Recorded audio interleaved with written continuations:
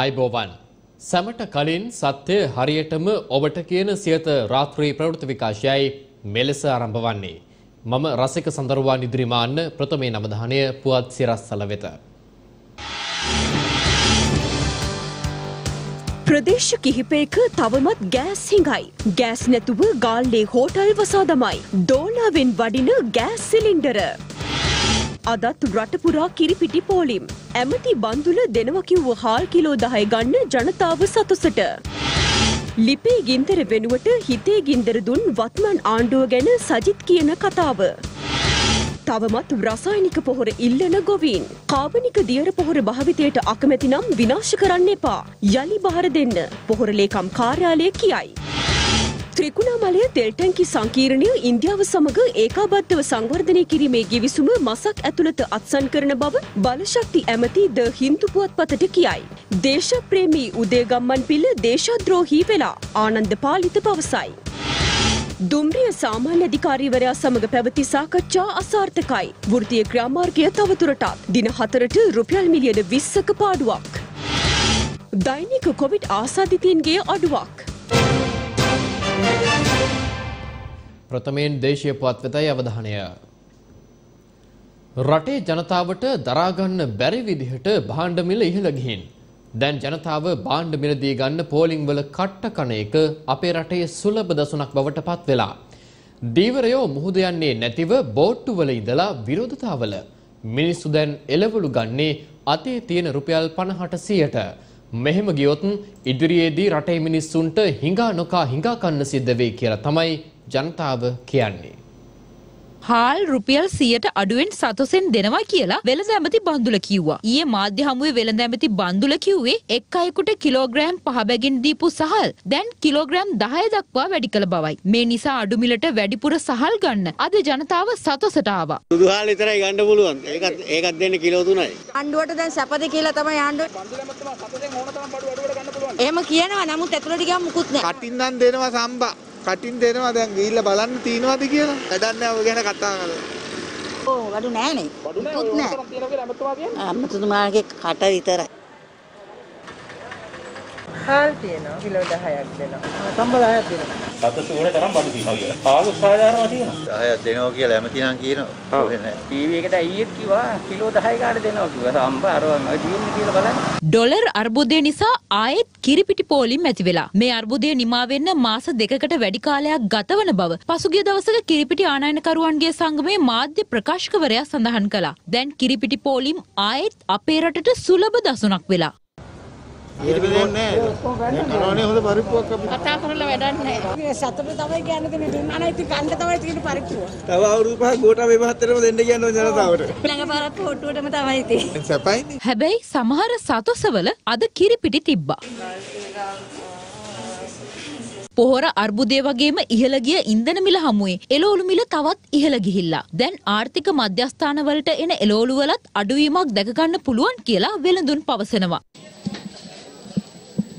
වෙන්න කෑලි 50ක් ගෙනාන දැන් ගෙන කෑලි 10යි. ඒකත් ඉතුරු වෙනවා. අපේ ව්‍යාපාර බින්දුවට වැටලා තියෙන්නේ. සිල්ලර අපිට විකුණන්න බෑ එළවලු. කිලෝ එක රුපියල් 300න් එහා පැත්තේ වගේ යන්නේ හැම එළවලුවක්ම. ආර්ථික මධ්‍යස්ථාන පවා වැහෙන්න යනවා මේ එළවලු එන්න දිනේ. මිනිසුන්ට දැන් කන්න සල්ලි නෑ. හැම බඩුවක්ම දවසෙන් දවස ගණන් යනවා. එළවලු මිල ඉහළ යාමත් එක්ක සිල්ලර එළවලු වෙළඳුන් දැඩි අපහසුතාවයට පත්ව තිබෙනවා. ඉස්සර කිලෝ ගාන්ට ග්‍රෑම් ගාන්ට එළවලු ගත්ත මිනිස්සු දැන් අතේ තියෙන රුපියල් 50ට 100ට එළවලු ගෙනියන්න කියලයි වෙළඳුන් පවසන්නේ. රටවටේ මුහුද තියෙනවා. ලුණු පැකට් එකක් අයි වැඩි කරන්නේ. ලුණු පැකට් එක රුපියල් 10ක් වැඩි වෙලා තියෙන්නේ. උඩ පණගෙන ගිහිල්ලා දුන්නේ. අවසාන ලුණු පැකට් එක වැඩි කරලා හිතේ දුක. මේකට 120යි. මේ එක කරවිලකදී දෙන්නුකට කන්න මදි. ඉතින් කොහොමද කන්නේ? අපි ජනගරුන්ට හොඳට සලකවුවා. එයා හොඳට අපිට සලකනවා බඩ ගින්නේ. අපි අතෙන් ගලව කටේ ගින්දර තියාගත්තා. අපට උනේ මේ හිඟා කන්නද? බිත්තර මිලත් ඉහළ ගිහිල්ලා. මේ මිලෙන් එහාට මං හිතන්නේ මස් මිලවත් බිත්තර මිලවත් යන්නේ නැහැ. බිත්තරේ අදටත් රුපියල් 50ට ගිහින් නැහැ. උපරිම ගිහින් තියෙන රුපියල් 26 27 විතර වගේ තමයි 25 26. ඉන්ධන මිල ඉහළ යාමත් සමග දීවර කර්මාන්තයට බලපෑම් එල්ල වෙලා. දීවරය මුහුදු යන එක පැත්තකින් තියලා බෝට්ටුවල ඉඳන් විරෝධතාවයේ නිරත වුණා. තවත් දීවරයෙන් පිරිසක් පන්දම් රැගෙන විරෝධතාවයේ නිරත වුණේ මෙලෙසින්.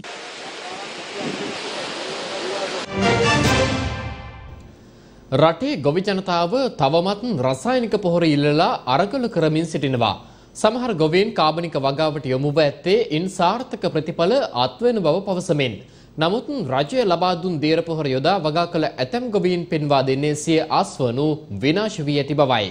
මේ අතර රජය ලබා දුන් දියර පොහොර භාවිත කිරීමට අකමැති නම් ඒවා විනාශ කරන්නේ නැතිව යලි බහර දෙන ලෙස පොහොර ලේකම් කාර්යාලයේ අධ්‍යක්ෂ චන්දන ලොකුහේවගේ මහතා ඉල්ලියා සිටිනවා.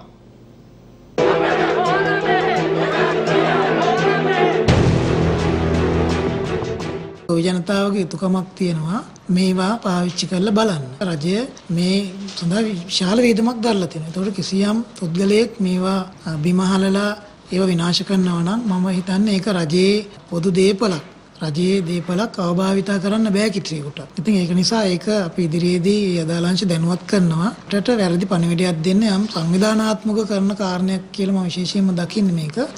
එහෙම Tamanට අවශ්‍යතාවයක් නැත්තම් මේක විශ්වාසයක් නැත්තම් Tamanට නැවතේ ගෝජනසය මධ්‍යස්ථානයට බාර දෙන්න පුළුවන්. කාබනිකද රසායනිකද කියන ප්‍රශ්නත් එක්ක තවමත් රටපුරා ගොවි ජනතාව සිය වගාවන් කරගෙන යාමට නොහැකිව පීඩාවට පත්ව සිටිනවා. ගිරිතලේ ව්‍යාපාරයේ වී ගොවීන් සිය වගා කටයුතු ආරම්භ කර මාසයක් ගත වී තිබෙනවා. මෙම ගොවීන් පසුගිය කන්නවල ඉතිරි වූ යූරියා පොහොර දමා එක් කොටසක් වගා කිරීම සිදු කර තිබෙනවා. ඔවුන් පෙන්වා දෙන්නේ එම කොටසේ ගොයම් පැල අඩියක් පමණ වැඩි ඇති බවයි.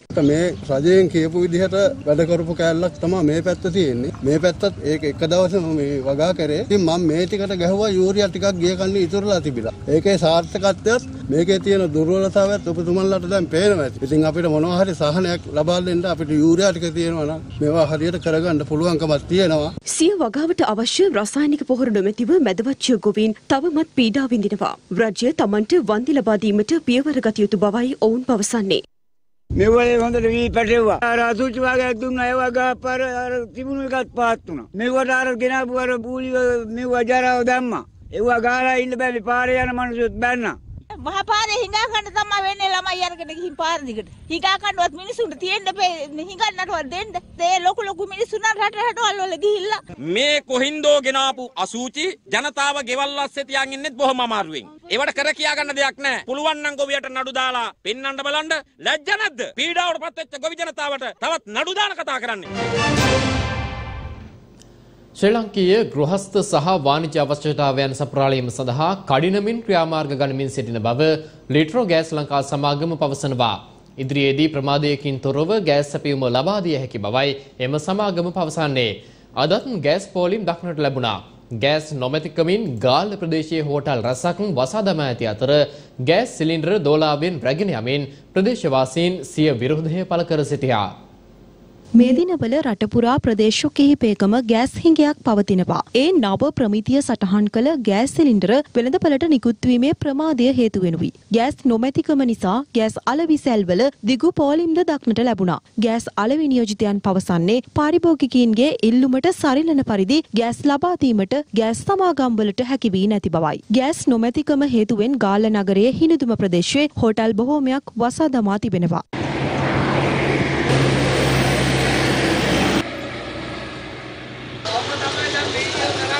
දරත් නෑ ගෑසුත් නෑ කන්නත් නෑ ගාල්ලෙක් මොන ඇමති හිටියත් ගෑස් නෑ.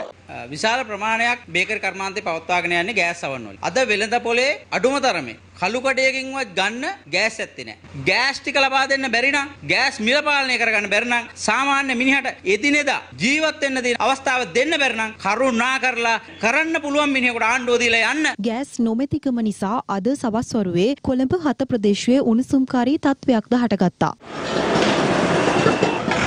Ini,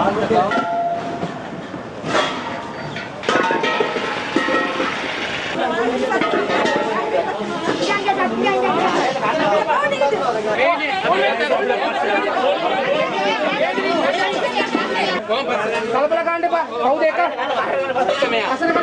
gas එක හැමදාම දැන් පොලිමනේ වැඩි කරලා බඩු නැහැ. සෙඩ් එකෙන් කියන එනවා කියලා. වෙලාවක් කියන්න බෑලු. මල්ලි අවුරුදු 50කට පස්සේ මේ පොලිමක හිටියමයි. මේ ආණ්ඩුවෙන් පොලිම්ම තමයි අපි ඉන්නේ. එනවද නැද්ද කියලා හරියට කියන්නේ නැහැ. ආයි නම් මේ වගේ කියලා වැඩක් නැහැ ඉතින්. ආණ්ඩුව දැන් පාණ්ඩුව ඇදලා තියෙන්නේ. බාලකෙන් නැන්නේ බලන්න කෙනෙක් නෑ ආන්න කෙනෙක් නෑ අපේ දුක ආරක තේරෙන්නේ. ඔව් සටන් දීලාම ගත්තා. ගත්තද? ඔව් ගත්තා. හොඳයි නේ? ඔව්. සතුටුද? ඔව් සතුටු. මේ අතර වැඩි මුදලට ගෑස් අලෙවි කරන අලෙවි නියෝජිතයන් පිරිසක් පිළිබඳව හැටන් ප්‍රදේශයෙන් අපට වාර්තා වුණා. ගෑස් තොග නියෝජිතයාගේ අලෙවි සැලට පමණක් ලබා දිය යුතුව තිබෙනවා. එසේ තිබියදීත් වංචා සහගත ලෙස ගෑස් තොග ලොරි රථවලට මාරු කර අලෙවි නියෝජිතයාට අයත් වෙනත් ස්ථානවල ගබඩා කර මෙම ජාවාරම සිදු කරන බවටයි පාරිභෝගිකින් චෝදනා කරන්නේ. නෑ ගෑස් යනවා මල අපිට ගෑස් ඕනේ නේ. අපි වැඩ ගන්න අපිට ගෑස් ඕනේ. අපිට ගන්නවා කොයි හරි. ගෑස් ඉල්ලුවා අපි ගාව ගෑස් නෑනේ. දවස් දෙකක් කඩේ ඔකට දැන් ගෑස් එක 3500ට විකුණන්නේ. දවස් දෙකක් කඩේ කොහොමද 2700 2000 ගාන එක 3500ට විකුණන්නේ කියලා තමයි ප්‍රශ්නේ අපිට තියෙන්නේ. හරි ඒකයි. දවස් දෙකක් මං කඩේ අපි අපි කඩේ වහලා. ඇයි වහලා තින්නේ? ගෑස් නෑ. එහෙනම් මේ මොනවද මේ තින්නේ? මේක තියෙන්නේ මේ ගෑස් පිපිරීම් ඇතුළු භාණ්ඩ මිල වැඩි කිරීමට එරෙහිව විරෝධතාවය පළ කරමින් ගෑස් සිලින්ඩරයක් දෝලාවක් මතින් රැගෙන යන ආකාරය අප වාර්තාකරුගේ කැමරාවේ සටහන් වූයේ මේ ආකාරයෙන්.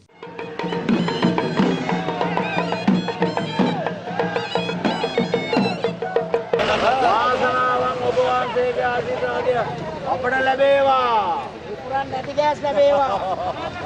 අදත් ගෑස් ආශ්‍රිත පිපිරීමක් කල්පිටිය ප්‍රදේශයෙන් වාර්තා වුණා. ගෑස් කාන්දුවක් හේතුවෙන් කල්පිටිය කුරක්කං හේන ගම්මානයේ නිවසක් ගිනිගෙන සම්පූර්ණයෙන්ම විනාශ වී තිබෙනවා. ගින්නෙන් නිවැසියන් දෙදෙනෙකු පිලිස්සුම් තුවාල ලබා ඇති බව අප වාර්තාකරු සඳහන් කළා. ත්‍රිකුණාමලයේ පිහිටි තෙල් ටැංකි සංකීර්ණය ඉන්දියාව හා එක්ව සංවර්ධනය කිරීමේ ගිවිසුම මසක් ඇතුළත අත්සන් කරන බව බලශක්ති අමාත්‍ය උදේගම්ම පිළ මහතා ද හින්දු පුවත්පතට ප්‍රකාශ කර තිබෙනවා. මේ අතර සමගි ඒකාබද්ධ වෘත්තීය සමිති සඳහනයේ කැදවුම්කරු ආනන්ද පාලිත මහතා පැවසුවේ දේශප්‍රේමී ලෙස කතා කළ උදේගම්ම පිළ මහතා මේ ගිවිසුම හරහා දේශද්‍රෝහී වී ඇති බවයි.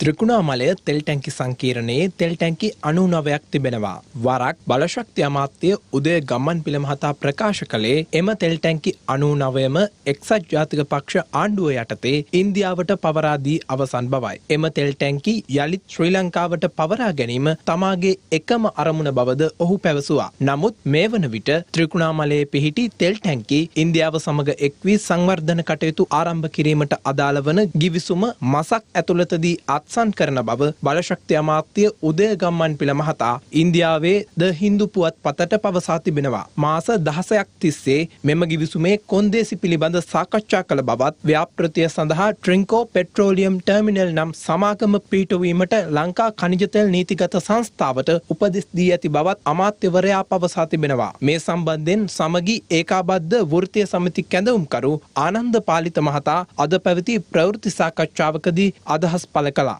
ත්‍රීකොලාමල තෙල් ටැංකි සංකීර්ණය අමුන්නාන්සලට මතක ඇති මේ සංකීර්ණය ගැන ගම්මන්පිල අමාත්‍යවරයා කියපු ප්‍රකාශ. ඉන්දු ලංකා ගිවිසුමෙන් සදා කාලිකවම ටැංකි 99 දුන්නා කිව්වා. පුළුවන් නම් පෙන්වන්න කිව්වා අවුරුදු 35කට තියෙන බදු කිවිසුමක්. මම යන්නේ ටැංකි ටික ආපසු ගන්න කිව්වා. මාර්තු මාසේ 16 අග්‍රාමාත්‍යවර ඉදිරියේදී කොළොන්නාවේ කිව්වා මම සුබදායක ආරංචියක් පණිවිඩයක් කියනවා ඉන්දිය මාකොමසාරිස් එකඟ වුණා බොහෝ දිනකින්ම ටැංකි ටික අපිට ලැබෙනවයි කියලා. මේ තියෙන ඇමතිගේ ලියුම. gediya පිටින් අපිට ගන්නවා කියපු ඇමති මේක බේරගන්න ඇවිල්ලා රටේ සම්පත් විකුණන කාලය ඉදිරියට එන්නේ. 2022 ආරම්භෙන්නේ අපේ සම්පත් කුණු කොල්ලෙට විකුණන කාලය කියලා ඔබලට අපි කිව්වා. මේකෙන් තව දෙයක් නැති වෙනවා මේ ඇමතිවරයාගේ ගනුදෙනුවෙන්. මොකද්ද මේ සමාගමෙන් නැති වෙන්නේ? ඩොලර් ලක්ෂයක් අවුරුද්දට ලැබුණා. ඒකත් ඉවරයි. චීන වරාය තෙල් ටැංකි යන්ත්‍රස්ථානයේ තෙල් බෙදීමේ බලයක් නැහැ. ඒකත් ලබා දෙනවා. විමල් වීරවංශ උදයගම්මන් පිළ ඇතුළු දේශතීතේසියෝ අද දේශද්‍රෝහි ගනුදෙනු වෙනකොට මොකද කරන්නේ ගේන්නේ දේශප්‍රේමී ගම්මන් පිළ ඇමතිවරයා. ඇමති ගේනකොට මේක දේශප්‍රේමී. අනිත් පක්ෂ කරනකොට දේශද්‍රෝහි. එහෙනම් මේකට වහාම අවදි වෙන්න. දුම්රිය ස්ථානාධිපතිවරුන් ආරම්භ කළ වැඩවර්ජනය අඛණ්ඩව ක්‍රියාත්මක කිරීමට අද තීරණය කළා. ඒ සාමාන්‍ය අධිකාරී ධම්මික ජයසුන්දර මහතා සමග පැවති සාකච්ඡා සාර්ථක වීම හේතුවෙන් මේ අතර සාමාන්‍ය අධිකාරීවරයාට විරෝධය පළ කරමින් තෙල් සිමෙන්ති ඇතුළු ප්‍රවාහන කටයුතු කිහිපයකින් නිවත්වීමටද වෘත්තීය සමිති තීරණය කර තිබෙනවා.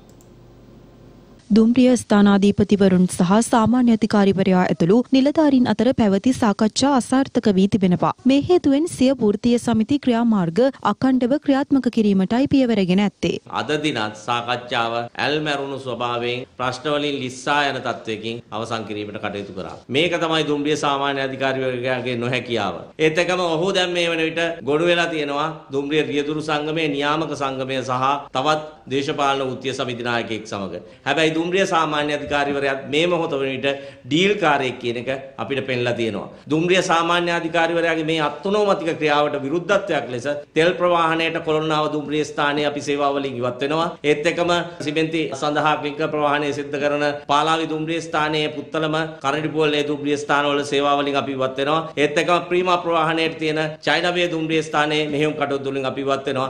ඉවත් වෙලා අපි මේ බලපෑම කරන්නේ දුම්රිය සාමාන්‍ය අධිකාරිවරයාට ගරු ඇමතුමේනි ජනාධිපතිතුමනි මේකට විසඳුමක් දෙන්න අපේ ප්‍රශ්න විසඳනවා වෙනුවට දෙපාර්තමේන්තුවේ පාලනයවත් කරගන්න බැරි මේ පුද්ගලයා පිටුවද තීන්දුවක් ගන්න එමෙන්ම දුම්රිය සාමාන්‍ය අධිකාරී ධම්මික ජයසුන්දර මහතා ප්‍රකාශ කළේ වෘත්තීය ක්‍රියාමාර්ගය ආරම්භ කර 23 වනි දින සිට අද දක්වා රුපියල් මිලියන 20ක පාඩුවක් ලබා ඇති බවයි. දිනකට දුම්රිය ප්‍රේෂ්ව සඳහා මුදල් නොගැනීම නිසා දිනකට රුපියල් මිලියන 5ක පමණ පාඩුවක් සිද්ධ වෙනවා. එම නිසා මේ වන විට මේ දින හතරට දුම්රිය ස්ථානාධිපති සංගමයේ වෘත්තීය ක්‍රියාමාර්ගයේ දුම්රිය දෙපාර්තමේන්තුවට රුපියල් මිලියන 20ක පමණ ආලාභයක් සිදු කරලා තියෙනවා. ඕනි ඉල්ලන සියලු ඉල්ලීම් ලබා දෙන්න බෑ. එහෙම ලබා දුන්නොත් දුම්රිය දෙපාර්තමේන්තුව මීටත් වඩා මූල්‍ය ආඝාතයකට යනවා. ඒ වගේම මේ හා සමාන අනිකුත් සමවෘත්තීය කණ්ඩායමුත් ඒ ඉල්ලීම් ඉල්ලුවොත් ඒවා ඉටු කරන්න දුම්රිය දෙපාර්තමේන්තුවේ සල්ලිත් නැහැ. ඒකින්ද අපි යම් මට්ටමකදී ඉල්ලීම් කරනකොට සාධාරණීය සිදු කළ හැකි ඉල්ලීම් සිද්ධ කරන්න ඕන. ඒ සාධාරණ ඉල්ලීම් බොහෝමයක් සඳහා විසඳුම් ලබා දීමට එකඟ වුණා.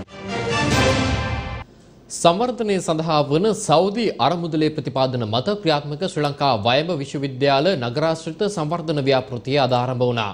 ඒ අග්‍රාමාත්‍ය මහින්ද රාජපක්ෂ මහතාගේ ප්‍රධානත්වයෙන් මෙම ව්‍යාපෘතිය සඳහා ඇස්තමේන්තුගත වියදම අමරිකානු ඩොල මිලියන විසි අටක්. එම මුදල සහන ණයක් ලෙස ලබාදීමට සංවර්ධනය සඳහා වන සෞදි අරමුදල ගෙවිසුම් ගත වී තිබෙනවා.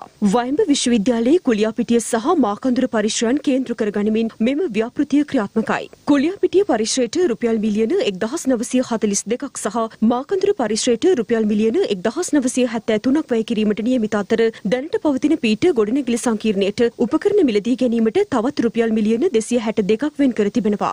ව්‍යාපෘතිය සමාරම්භයට සමගාමීව වයඹ විශ්වවිද්‍යාලයේ කුලියාපිටිය පරිශ්‍රයේ නව පුස්තකාල ගොඩනැගිල්ලට මුල්කල තැබීමද අද සිදු වුණා. ඊට වැය වෙන මුදල රුපියල් මිලියන දෙසිය පනස් නවයක්. රටේ සමාජ ආර්ථික සංවර්ධනයට සරලන පරිදි වෘත්තිමය වශයෙන් දක්ෂ උපාධිධාරීන් බිහි කිරීම සඳහා විශ්වවිද්‍යාල අධ්‍යාපනයේ ගුණාත්මක භාවය සහ අදාළත්වය ඉහළ නැංවීමට අධ්‍යාපන අමාත්‍යාංශයේ උසස් අධ්‍යාපන අංශය මගින් මෙම ව්‍යාපෘතිය ක්‍රියාත්මක කර තිබෙනවා. වයඹ විශ්වවිද්‍යාල නගර සංවර්ධන වැඩසටහන තුළ විශ්වවිද්‍යාල ප්‍රජාව සහ අවට ප්‍රජාවන් සමග සමීප අන්තර්ක්‍රියාකාරීත්වය වැඩි දියුණු කිරීම මෙන්ම ග්‍රාමීය ප්‍රදේශ ශක්තිමත් කිරීම තුළින් සැලකිය යුතු සංවර්ධන බලපෑමක් ඇති කිරීමටද අපේක්ෂිතයි. සහන ලබා දෙනවා වෙනුවට වත්මන් ආණ්ඩුව සිදු කළේ ජනතාව තවත් අගාධයට ඇද දැමීම බව විපක්ෂ නායක සජි ප්‍රේමදාස මහතා පවසනවා. ඒ අද අම්බලන්තොට ප්‍රදේශයේ පැවති ජනහමුවකදී. හරියටම නත්තලට දින කිහිපයකට පෙර පොහොට්ටුවේ නත්තල් සීයා උතෑගත් දුන්. ඒ තමයි තෙල් මිල වැඩි කිරීමේ තෑග්ග. දැන් අලුත් අවුරුද්ද උදා වෙනකොට පොහොට්ටුවේ නත්තල් සීයා අලුත් තෑග්ගක් දෙන්නයි බලාපොරොත්තු. ඒ තමයි මේ රටේ විදේශ සංචිත සම්පූර්ණයෙන්ම බිඳුවට බැස්සවීමේ නත්තල් තෑග්ග. පොහොට්ටුවේ නත්තල් සීයට මුල අමතක වෙලා. පොහොට්ටුවේ නත්තල් සීයට 69 ලක්ෂය අමතක වෙලා. අද ලිපේ ගින්දර නැහැ. අද තියෙන්නේ ජනතාවගේ හදවතේ ගින්දර.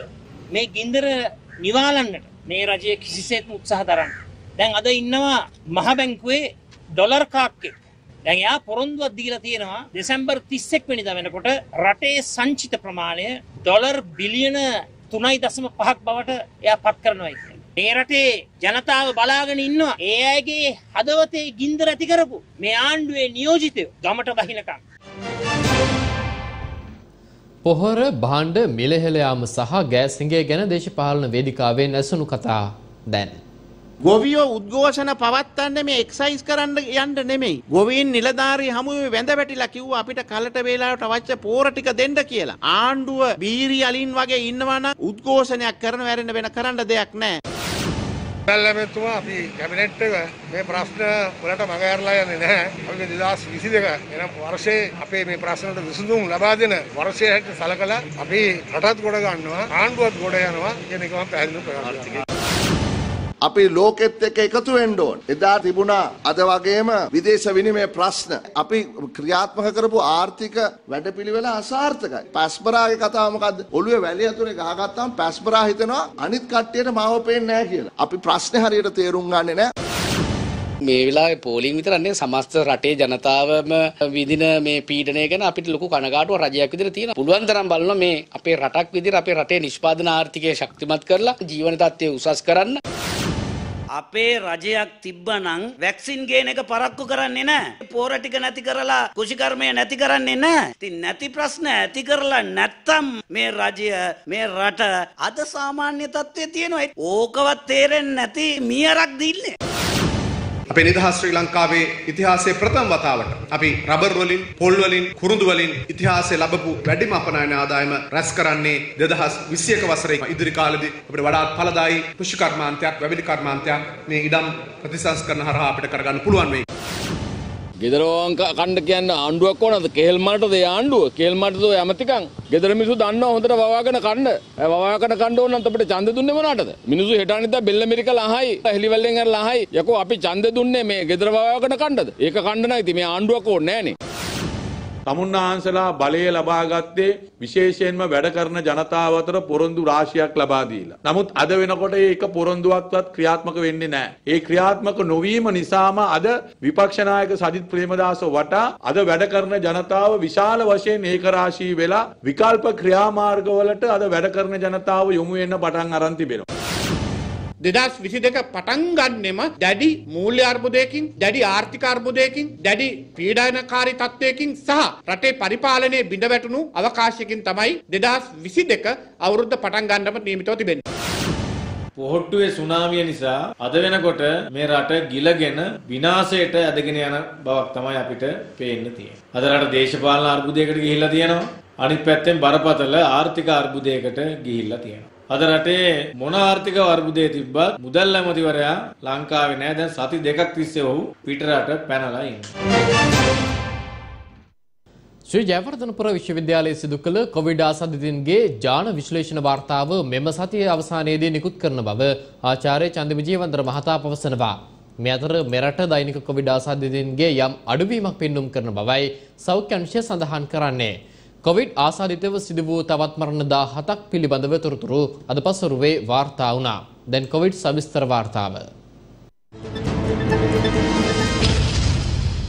දෛනික කොවිඩ් ආසාධිතීන්ගේ යම් අඩුවක් ඒ දිනය තුළ වර්තාවී තිබෙනවා. පසුගිය දින කිහිපය තුළ කොවිඩ් ආසාධිතීන් හයිසියත් හත්සියත් අතර සේමාවේ පැවතුණු අතර ඉන් පසුව එය පන්සේ සේමාවට ළඟා වුණා. ඒ දින මෙරටින් හඳුනාගත් කොවිඩ් ආසාධිතයන්ගේ සංඛ්‍යාව තුන්සිය අනු අටක් බවයි වසංගත රෝග විද්‍යා ඒකකය පැවසුවේ. අවදා හෝ වසංගතය අවසන් වුණාට පස්සේ ආපහු හැරිලා තමා කියන්න පුළුවන් වෙන්නේ ඔන්න වසංගතය ඉවරයි කියලා. එහෙම නැතුව කල්ැතුව දැන් ඉවර වෙන්න පටන් ගත්තායි කියලා කියන්න අමාරුයි. නිසා අපි සියලු දෙනාම අපේ ආරක්ෂාව සඳහා ගත යුතු සියලු ක්‍රියාමාර්ග ගැනීම වැදගත් වෙනවා. උත්සව සමයේ තවම අවසන් වෙලා නැහැ. අපේ රටේ ජනතාවගෙන් වැඩි පිරිසක් මේ වෙනකොට මේ විශේෂයෙන්ම නත්තල් දින සහ ඒ ආශ්‍රිත සමයේ සෞඛ්‍ය නීති අනුගමනය කරමින් මේ නත්තල සැමරුවා ඒ කටයුත්ත කරා. ඒ වගේම ඉදිරි සතිය පුරාම මේ උත්සව කටයුතු සිද්ධ වෙන තත්ත්වයක් තුළ අපි බලාපොරොත්තු වෙනවා රටේ බහුතරයක් මේ සෞඛ්‍ය නීති අනුගමනය කරමින් කටයුතු කරાવી කියලා. ඒ වගේම අනුගමනය නොකරන සුළු පිරිසකිනුත් අපි ඉල්ලා සිටිනවා. තමන්ගේ ආරක්ෂාව ගැන රට තමන්ගේ ආදරණීයන්ගේ ආරක්ෂාව ගැන සලකලා බලලා සෞඛ්‍ය පුරුදු උපරිමයට අනුගමනය කරන්න. උත්සව සමයත් සමග බූස්ටර් මාත්‍රාව ලබා ගැනීමේ යම්කිසි අඩුපාක් දැක්කා අපි. මේකට ඒක හේතුවක් කියලා අපිට හිතෙනවා අතේ වේදනාව දවසක් දෙකක් පමණ තියෙන නිසා සමහර අයට මේට පෙළඹීමක් නොවෙන්නට ඇති බව. නමුත් දැන් උත්සව සමය අවසන් නිසාත් ඉදිරියේදී පාසල් ආරම්භ කිරීම නැවතත් තුන්වන වාරයට ආරම්භ කිරීමට යෙදී තියෙන නිසාත් අපි බලාපොරොත්තු වෙනවා බූස්ටර් මාත්‍රාව ලබා ගැනීමට නැවතත් උනන්දුව ඇති වේවි කියලා. ශ්‍රේ ජයවර්ධනපුර විශ්වවිද්‍යාලය සිදු කළ කොවිඩ් ආසාධිතයන්ගේ ජාන විශ්ලේෂණ පරීක්ෂණවල වාර්තාව මෙම සතිය අවසානයේදී නිකුත් කරන බව ආචාර්ය චන්දිම ජීවන්තර මහතා පවසනවා. ආචාර්ය චන්දිම ජීවන්තර මහතා පැවසුවේ ආසාධිතයන් අනු හය දෙනෙකුගේ ජාන විශ්ලේෂණ පරීක්ෂණ ප්‍රතිඵල ඊට අයත් බවයි. සතිපතා ආසාධිතයන්ගේ ජාන විශ්ලේෂණ සිදු කරන බවද ඔහු වැඩිදුරටත් සඳහන් කළා. රටවටා පුවත් කිහිපයක් කෙටියෙන්. ශ්‍රී ලංකාවේ අභ්‍යන්තර ගුවන් සේවා සිදු කරන සකුරා ඒවියේෂන් සමාගමට අයත් සෙස්නා වර්ගයේ සැහැල්ලු ගුවන් යානයක් කඩා වැටී තිබෙනවා. ඒ කිඹුලපිටිය 6 කණුව ප්‍රදේශයේදී. මෙම ගුවන් යානය සීගිරිය සිට කොග්ගල දක්වා අභ්‍යන්තර ගුවන් ගමනක යෙදී සිටි අතරතුර එන්ජිමේ හටගත් කාර්මික දෝෂයක් නිසා මෙම අනතුර සිදුව ඇති බවයි වාර්තා වන්නේ. එම අවස්ථාවේ යානය තුල ගමන්ගත් ලෙබනන ජාතිකයින් දෙදෙනා සහ ගුවන් නියමුවන් දෙදෙනා සුළු තුවාල ලබා රෝහල්ගත කර තිබෙනවා. අතුරුගිරිය කඩුවෙල සහ කොළඹ නුවර මාර්ග යා කරමින් භාවිතා කරන විකල්ප මාර්ගයක් වනුයේ වැලිහිඳ මාර්ගයයි. එම මාර්ගය ප්‍රතිසංස්කරණ කටයුතු සඳහා කඩා දමා තිබෙන අතර තවමත් මාර්ගයේ ඇති පාලමද අලුත් වැඩියා කර නැහැ. මීට විරෝධය දක්වමින් ප්‍රදේශවාසීන් අද විරෝධතාවයක නිරත වුණා. ඊට සමග ජන බලවේගයේ වෘත්තීය සමිති කැඳවුම්කරු ප්‍රියන්ත පත්පෙරිය මහතාද එක්ව සිටියා. මුල්ගල් තියලා මාස 9කට ආසන්න කාලයක් නව ඇසමෙන්තුවක් සකස් කරලා මේ වැඩේ පටන් ගන්න. යාපනයේ ප්‍රදේශයේ කෝවිල්වල ඇති ගලින් නෙලන ලද දේව පිළිම සොරාගෙන ඉහළ මිලකට විකුණන පුද්ගලයින් දෙදෙනෙකු අත්අඩංගුවට ගෙන තිබෙනවා. ඔවුන් වයස අවුරුදු 25 සහ 27 හැවිරිදි පුද්ගලයින් බවයි වාර්තා වන්නේ. මෙම පිළිම සොරාගෙන කොළඹ ප්‍රදේශයේ පුද්ගලයින් වෙත ඉතා ඉහළ මිලකට අලෙවි කරන බවයි වාර්තා වන්නේ. සිද්ධිය සම්බන්ධයෙන් යාපනයේ පොලිසිය වැඩිදුර පරීක්ෂණ පවත්වනු ලබනවා. අනුරාධපුර ශ්‍රී ලංකා ගමනාගමන මණ්ඩලයේ සේවකීන් මගේ ප්‍රවාහන බස් රථයක් සිය යටතට ගෙන තිබෙනවා. CTB බස් රථ හා පෞද්ගලික බස් රථ රියදුරන් හා කොන්දොස්තරවරු අතර ඇති වූ ගැටුමක් මීට හේතු වූ බවයි වාර්තා වන්නේ. ශ්‍රී ලංකා ගමනාගමන මණ්ඩලය මෙසේ සිය යටතට ගෙන ඇත්තේ අනුරාධපුර සිට විලච්චිය දක්වා මගේ ප්‍රවාහන පෞද්ගලික බස් රථයක් බවයි අප වාර්තාකරු සඳහන් කළේ. එත් සමගින් සියත රාත්‍රී ප්‍රවෘත්ති විකාශය අවසන්. යළිත් හමුවෙමු හෙට උදෑසන 6ට. ඔබට සුවදායි රාත්‍රියක්.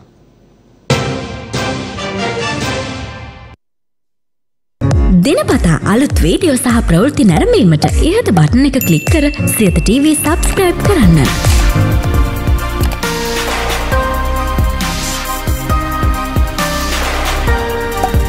අලුත් වීඩියෝ ගැන මුලින්ම දැනගන්න මෙම සීනුව ක්ලික් කරන්න.